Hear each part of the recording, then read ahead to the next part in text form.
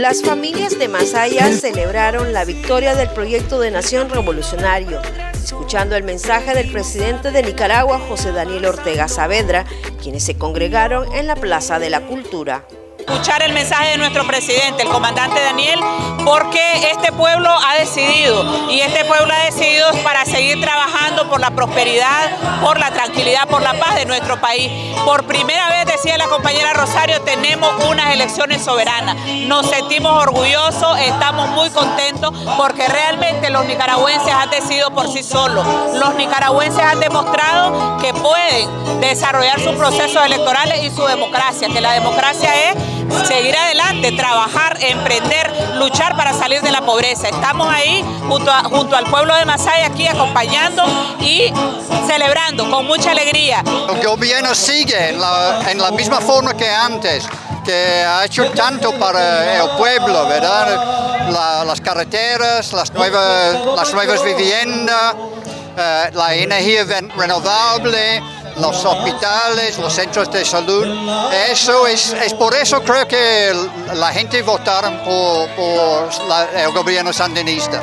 Y es por eso que tenemos que publicar sus éxitos en el mundo, porque realmente la, la, media internacional no sabe esto, solo concentran en, que, en los problemas de 2018 y ignoran lo que realmente ha hecho este gobierno en los últimos 14 eh, años. Luego de escuchar el mensaje contundente del presidente de Nicaragua, las familias salieron en caravana a celebrar la victoria del pueblo presidente.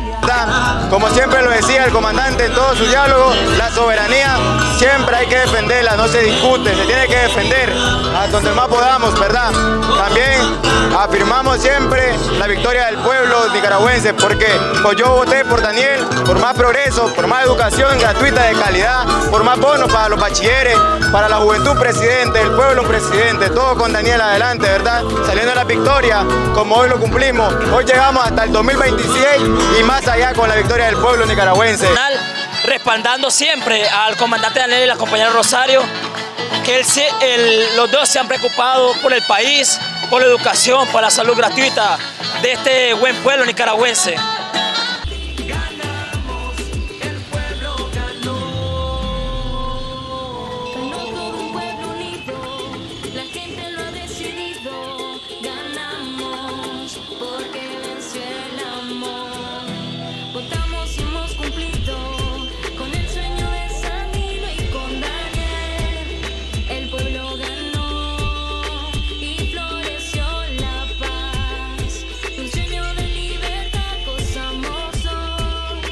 Les informó desde el departamento de Masaya con cámara de Ale Girón Zúñiga, Carla Sainz Padilla.